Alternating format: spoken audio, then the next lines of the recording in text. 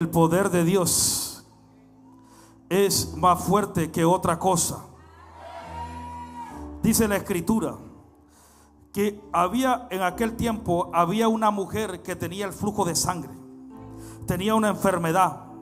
Estaba sus ovarios, todo lo que reproducido de la mujer no, no funcionaba tenía un, una enfermedad muy fuerte.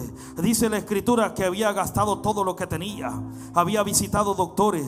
Me imagino que había visitado brujos, hechiceros. Había visitado todo lo que ella podía. Pero nadie había dado el milagro. Nadie había hecho el milagro. Pero dice la Biblia que cuando Cristo caminaba hacia una casa, de repente esa mujer se mete entre la multitud y le toca solo el bardo del monte del maestro. Solo el borde el borde del manto del maestro. Eh. Solo eso necesitó para que el milagro sucediera, para que el milagro pasara. Solo eso necesitó la mujer. Y dice la Biblia que al instante se secó el flujo de sangre. Al instante se secó. Adore a Dios, mi amado hermano. Es impresionante el poder de Dios solo tocó la orilla del manto del maestro. No necesitó otra cosa. No necesitó más. Solo necesitó eso, mi amado hermano. Y el poder de Dios se manifestó. No hay otra cosa, mi amado hermano, más fuerte que el poder del Espíritu Santo. Y no le voy a y no, no voy a parar de hablar de esto, mi amado hermano. Vengo prendido esta noche, mi amado hermano. Eh, Vengo prendido. Eh,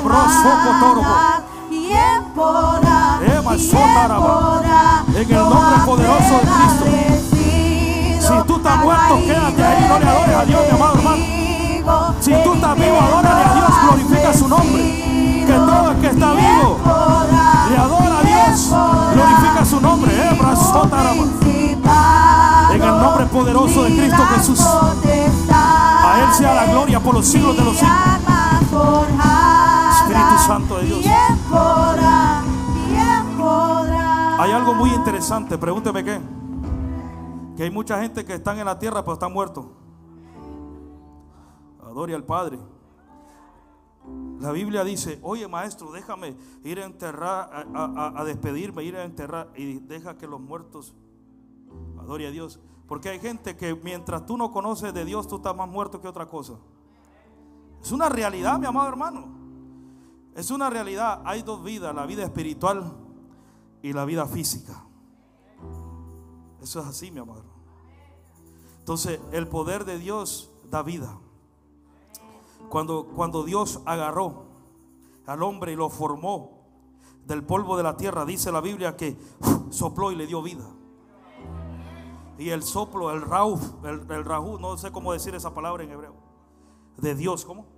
El ruah de Dios, el soplo de Dios, el Espíritu Santo sobre, sobre el aliento de Dios. Le dio vida, mi amado hermano. Era un, era un pedazo de tierra nomás y el soplo le dio vida. ¿Usted está aquí o no? El poder de Dios, mi amado hermano, no tiene límites. Yo vine a decirle a alguien aquí a decirte que el poder de Dios no tiene límite. El poder de Dios no tiene límite.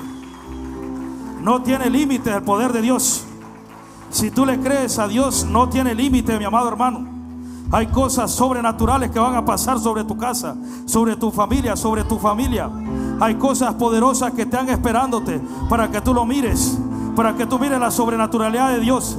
El poder de Dios no tiene límite. El único que puede limitar el poder de Dios eres tú mismo. Pero tú tienes que creerle a Dios y decirle, Padre bendito, yo estoy aquí. Yo he dicho que yo y mi casa serviremos a Jehová. Y la presencia de Dios tiene que entrar a mi casa. La presencia de Dios tiene que entrar a mi casa.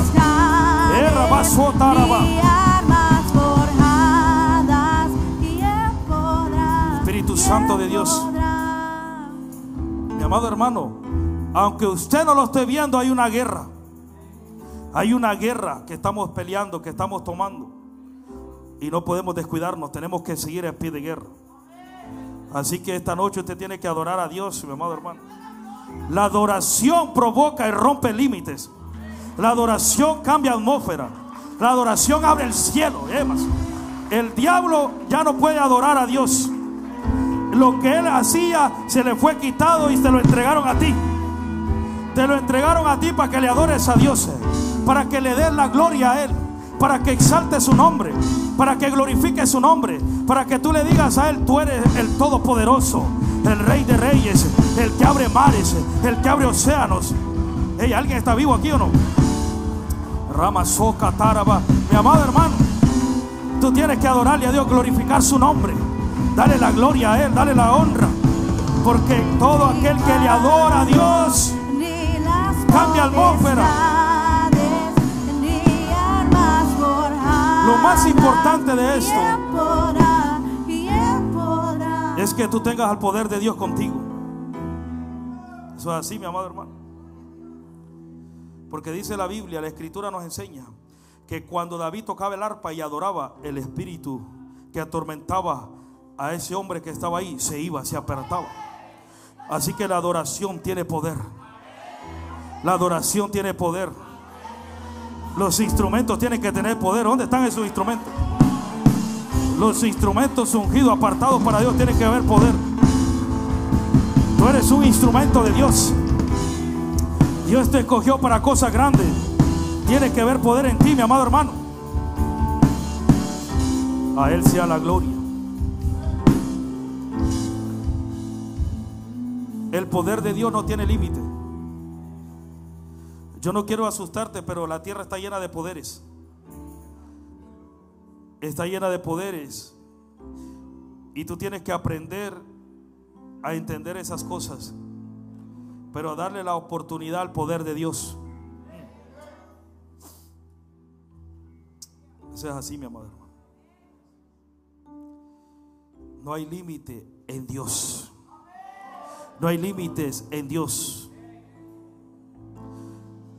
Cuando los doctores dicen no va a poder, Dios dice que sí. Cuando migración dice no va a poder, Dios dice que sí. Tú tienes que creerle a Dios. Es lo único que tú necesitas, es creerle a Dios. Y el que cree verá la gloria de Dios.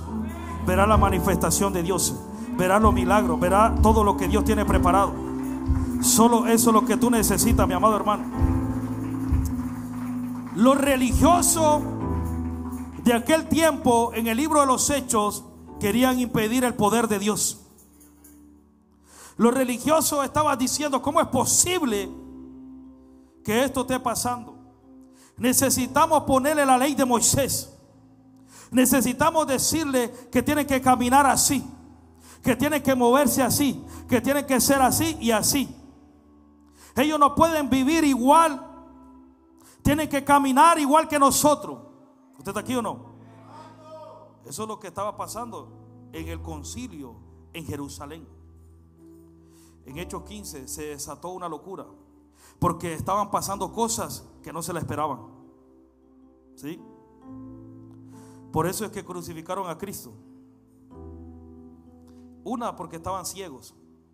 La, la religiosidad te hace ciego. ¿Se fueron los amenes o qué?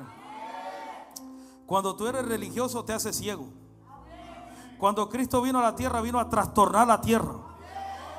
Vino a hacer lo que ellos no estaban haciendo.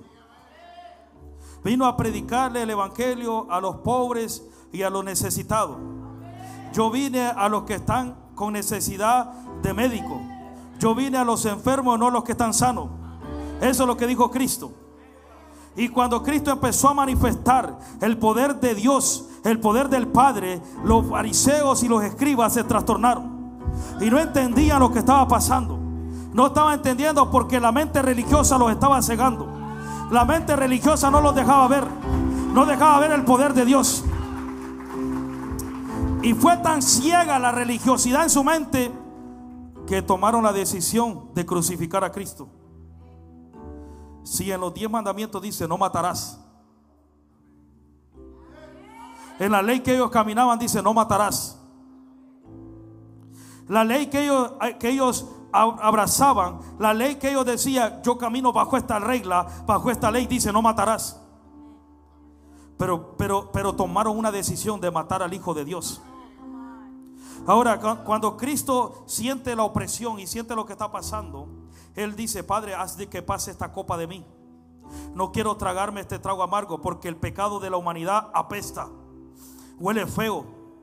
Por eso es que Cristo en un momento dado dice, Padre, Padre, ¿por qué me has abandonado? ¿Tú sabes por qué? Porque el pecado tuyo estaba en la carne de Él. Porque tu pecado se estaba manifestando ahí. Y como el Padre no puede oler pecado porque no puede caminar con eso. Eh, brazo. ¿Sí, mi amado hermano? Entonces ellos toman una decisión pensando que están haciendo algo bueno. Oye, mi amado hermano, hace poco estaba leyendo. Donde están hablando con Cristo y están teniendo una conversación los lo religiosos. Y lo quieren agarrar y le quieren atormentar, le quieren hacer. Y cuando dicen, oye, vamos, no le podemos hacer nada porque el pueblo lo tiene como profeta. El pueblo lo conoce. Por eso, mi amado hermano, cuando un religioso te ataque, tú estate tranquilo. Tú estate tranquilo porque eh, deja que los demás hablen por ti. No te defienda, mi amado hermano. Es que es una realidad. Hoy en día estamos llenos de iglesia donde cree en el poder de Dios, pero no hay nada. Hoy en día estamos llenos de iglesia donde hablan de un Dios que sana, pero no oran por los enfermos. Ayúdeme, ayúdeme, amado hermano, que es una verdad. Hoy en día estamos llenos de iglesias donde no creen en las profecías. Y la Biblia dice que donde no hay profecía, el pueblo se desenfrena. Donde no hay profecía, el pueblo se desenfrena. Y, Pablo dice, eh, yo prefiero que haga todo esto y esto.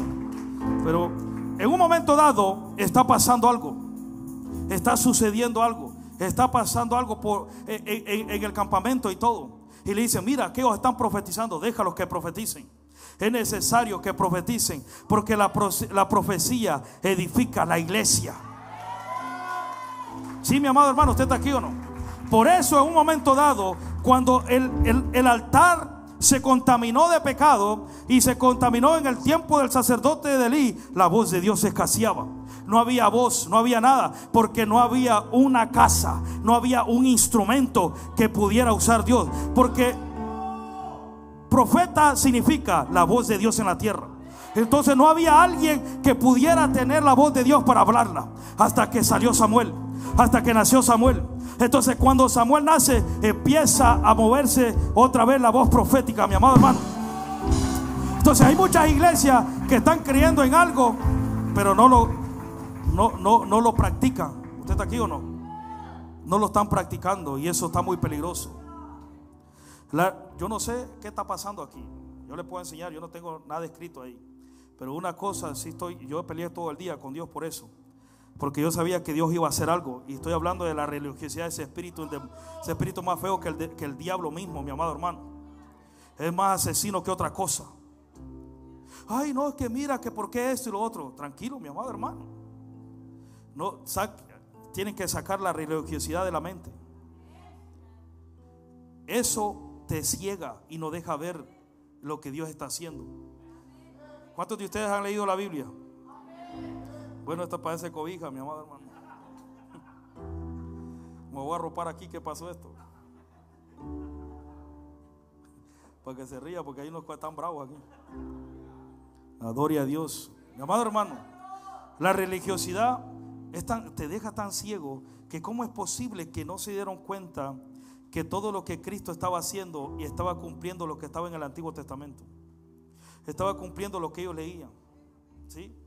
Y incluso cuando Cristo está en la sinagoga, le toca leer la Biblia o le toca leer eh, el pergamino y le toca leer y lee en Isaías donde dice, y el Espíritu de Jehová está sobre mí, por cuanto me ha ungido. Adore a Dios.